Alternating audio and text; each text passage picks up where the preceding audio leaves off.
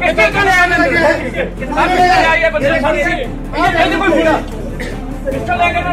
ਸੰਸ ਕੋ ਲੈ ਕੇ ਮਾਰਦੇ ਇਹਨੇ ਯਾਰ, ਅੰਦਰ ਕੋ ਲੈ ਗਿਆ ਪੁਲਿਸ ਨਾਲ ਧੱਕਾ ਮੁੱਕੀ ਹੁੰਦੇ ਇਹ ਵਿਅਕਤੀ ਕੋਈ ਅਪਰਾਧੀ ਨਹੀਂ, ਬਲਕਿ ਜ਼ਿਲ੍ਹਾ ਪ੍ਰੀਸ਼ਦ ਚੋਣਾਂ ਲਈ ਉਮੀਦਵਾਰੀ ਦਾ ਪਰਚਾ ਭਰਨ ਆਏ ਨੇ।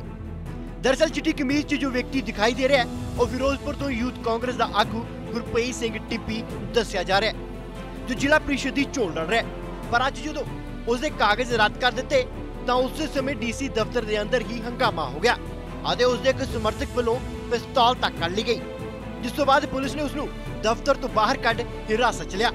ਫਿਲਹਾਲ ਪੁਲਿਸ ਨੇ ਅਜਿਹੀ ਹਰਕਤ ਕਰਨ ਵਾਲੇ ਨੌਜਵਾਨ ਨੂੰ ਹਿਰਾਸਤ 'ਚ ਲੈ ਕੇ ਮਾਮਲਾ ਦਰਜ ਕਰ ਜਾਂਚ ਸ਼ੁਰੂ ਕਰ ਦਿੱਤੀ ਹੈ। ਵਾਦਾ ਕਰਦੇ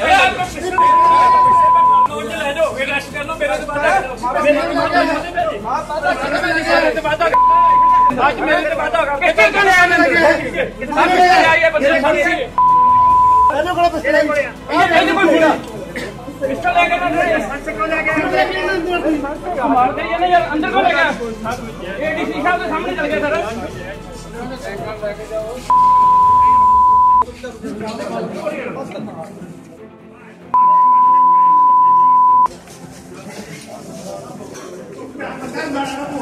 Go! Let's get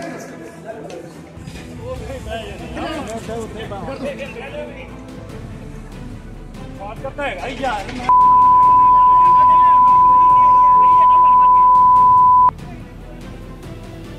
ਪਰ ਇਸ ਘਟਨਾ ਨੇ ਇੱਕ ਵਾਰ ਫਿਰ ਪੁਲਿਸ ਦੀ ਕਾਰਗੁਜ਼ਾਰੀ ਤੇ ਸਵਾਲ ਖੜੇ ਕਰ ਦਿੱਤੇ ਨੇ ਫਿਰੋਜ਼ਪੁਰ ਤੋਂ ਮਨਜੀਤ ਸਿੰਘ ਦੇ ਨਾਲ bureau report Dainik Savera TV